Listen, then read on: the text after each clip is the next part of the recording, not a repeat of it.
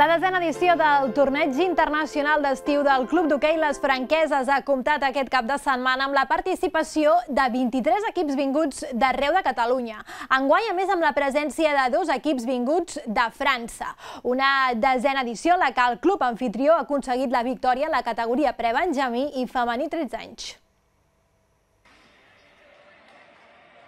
La pista exterior coberta de la zona esportiva de Corró damunt ha acollit aquest cap de setmana la desena edició del torneig internacional d'estiu del Club Hoquei Les Franqueses, una competició que ha reunit a les Franqueses del Vallès a 23 equips vinguts d'arreu del territori català i amb la participació enguany de dos equips de França, el Cotràs i l'Atlètic Cestes.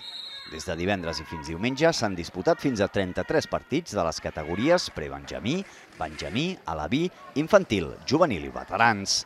Les finals han tingut lloc durant el matí de diumenge i el club anfitrió ha aconseguit imposar-se en les categories de prebenjamí i femení 13.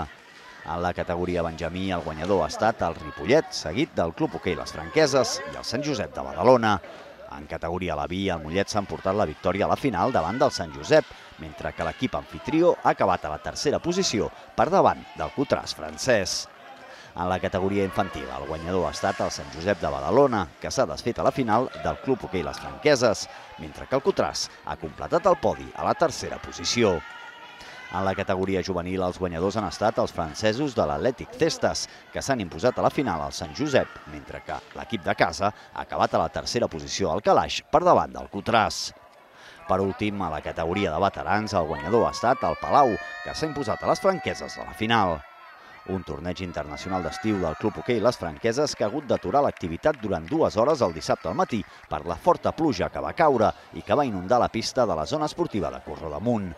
Els organitzadors, ajudats per algunes famílies dels jugadors, van afanyar-se a eixugar la pista per poder disputar la resta de partits, mentre que l'organització es va posar en contacte amb Mollet per disputar alguns partits allà, per intentar no endarrerir la resta de la competició.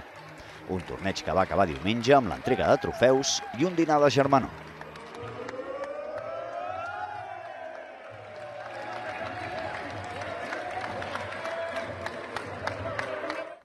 El nou tennis Belull ha celebrat aquest cap de setmana la primera edició de l'Open Solidari Sim Project La Garriga, un torneig de tennis amistós amb l'objectiu de recaptar fons pel projecte del Club de Muntanya Inclusiu de La Garriga que aquest proper mes de novembre vol arribar al camp base de l'Everest acompanyant a persones amb fibromialgia, mobilitat reduïda i discapacitat visual. El Club Tenis Belulla ha acollit aquest diumenge la primera edició de l'Open Solidari de Tenis Sim Project, una iniciativa que sorgeix del Club de Muntanya Inclusiu de la Garriga que el proper mes de novembre viatjarà fins al camp base de l'Everest, acompanyant a persones amb fibromiàlgia, mobilitat reduïda i discapacitat visual.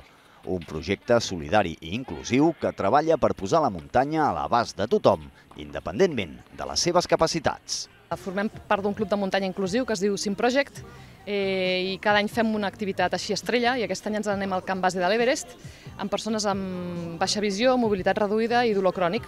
I com que jo formo part d'aquest club de tennis, el Belulla, i mirem de fer activitats per poder recaptar fons per aquesta causa, doncs vam, ens vam posar d'acord amb el club per fer una activitat festiva familiar de tennis i hem engegat aquest primer Open de tennis inclusiu, eh, de dobles, pares i fills, mares i filles, eh, però tots barrejats. Llavors el que recollim d'aquí doncs, anirà íntegre al, benefici del projecte CIM Everest. Tenim molts alumnes a l'escola i alguns socis que estan involucrats en aquest projecte, eh, del projecte CIM i ens va semblar una bona iniciativa intentar recollir doncs, una mica de fons perquè puguin doncs, fer aquesta tasca de portar eh, gent amb, una mica, amb algunes deficiències no? físiques i, i visuals, doncs, portar-los a fer cims, és un projecte molt maco i, i des que ens ho, van, ens ho van comentar ens va semblar molt bona idea intentar col·laborar. El Club de Canovelles s'ha unit al Sim Project La Garriga amb l'organització d'aquest torneig obert a tots els socis i que ha recaptat fons per ajudar-los a assolir aquest repte majúscul. Una col·laboració que ha portat el tennis Belulla a més d'una trentena de persones amb un format de competició per parelles, amb alguna que altra sorpresa. Un cop han arribat aquí s'han trobat amb la sorpresa que els pares s'han barrejat amb nens d'altres famílies i així hem fet un pares i mares, però que no hi ha hagut cap cap pare que li toqués amb el seu fill. És a dir, s'ha fet eh, de manera així sorpresiva per tots i ha sigut una molt bona idea. És a dir, tots els pares estan jugant amb, amb fills diferents i els fills amb pares diferents.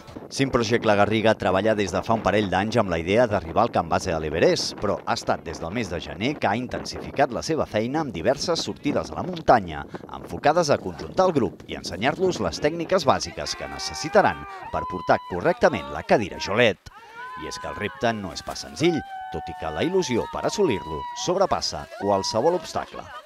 Doncs mira, l'última ruta que vam fer va ser el Puigmal diumenge passat i anteriorment havíem pujat a Vestiments fa unes quatre setmanes i vam pujar amb l'Albert, que és la persona usuària de la cadira Jolet, i, i molt bé, ha anat molt bé. Tots els usuaris, totes les persones que vindrem a Everest estem fent una formació de, per, per poder entrenar-nos i anem fent petits cims i hem fet 3.000. També vam anar al Tupcal a finals de setembre, no, febrer, no me'n recordo ara, fa un parell de mesos vam anar al Tupcal, al Marroc també, i és un 4.000, vull dir que molt bé, estem molt contents dels progressos que estem fent i, i de com està anant tot.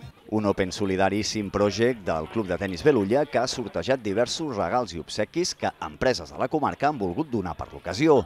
Una iniciativa que els dos clubs volen mantenir els propers anys.